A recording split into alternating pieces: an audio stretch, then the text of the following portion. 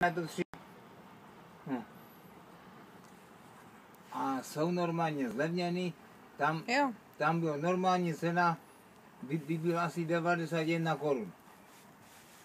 No tak je to psané. já se mrknu na ně, no. Ti říkám, pěkný, já jsem to teda nevysypal, dovez jsem to do garáže, to jsem šel pěšo. Počkej, čím jsi to dovez? To na kole jsem to Jsem to píchl na kole a šel jsem pěšky. Slyšel jsi, jo? A jo, tak pěšiška. To už jsem slyšel, no.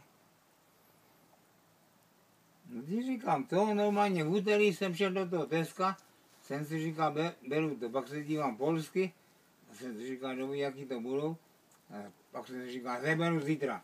Já teď ti říkám, raz to líbo se, no, no, no mám druhý den. No, Hustá sv... dru, druhý den to bylo jednou tolik. A, a normálně cibuli jsem zebral tež v Lidlu.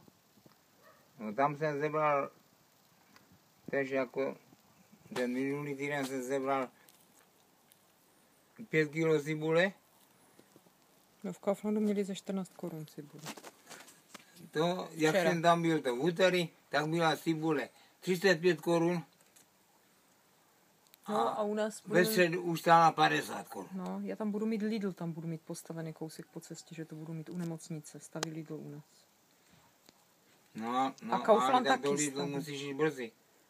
Tak Tam normálně, nevím jestli teďka, ale dříve tam zavírali o hodinu dřív skoro. eh, v neděli zavírají v 6. Večer. No, no já, no, já jsem tam byl v nedělu.